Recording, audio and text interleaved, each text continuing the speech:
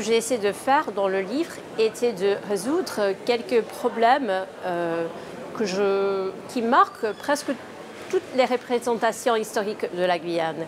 Surtout, il y a cette euh, rupture énorme entre ce qu'on peut appeler les deux parties de cette histoire.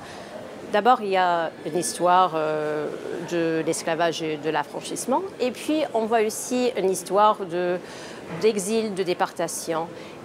Il est très rare et franchement euh, non existant au présent qu'on remet ces deux parties ensemble. Ce que j'ai essayé de faire dans le livre est d'unifier le récit historique de la Guyane en mettant en relation l'histoire euh, de l'exil et l'histoire de la libération, de, l'esclavage, de, des gens euh, issus de l'esclavage de ce pays. Je pense qu'il faut éviter le mot tabou, mais c'est vrai, il est difficile de trouver des ouvrages historiques sur la Guyane. Une raison pour cela est euh, le mauvais état des archives.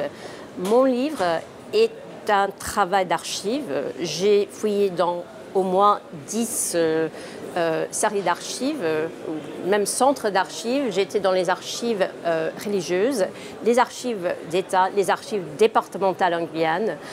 Et ce que je dois dire, après cette longue consultation avec les archives, et on remarque un manque qui est un peu étrange, surtout au 19e siècle.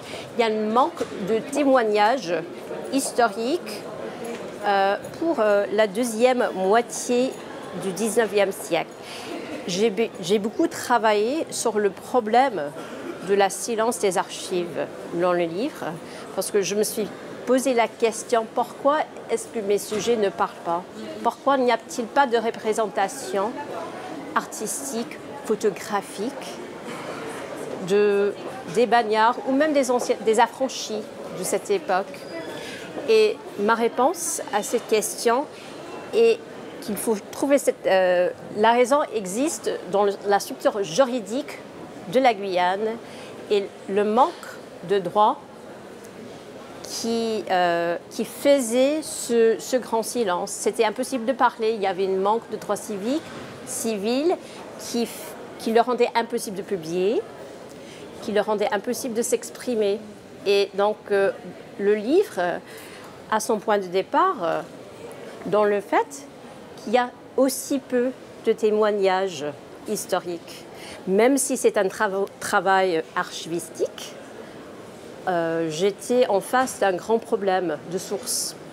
J'espère avoir euh, trouvé une solution et ça reste le lecteur de me dire.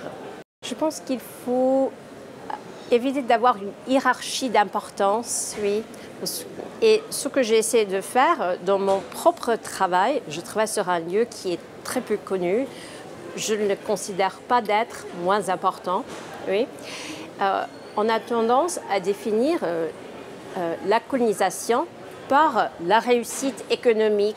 On confond souvent la colonisation avec le développement économique et politique. Ce n'est pas la même chose, c'est une manière euh, de gérer le pouvoir pour, euh, avec différents résultats. Et la Guyane n'est pas un échec colonial, c'est un cas colonial.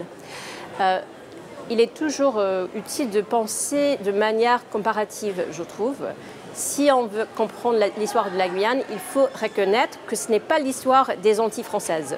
Il y a beaucoup de choses qui distinguent la Guyane des Antilles. Il y avait un, régime politique très différent, il y avait euh, des structures euh, coercitives beaucoup plus fortes en Guyane au XIXe siècle.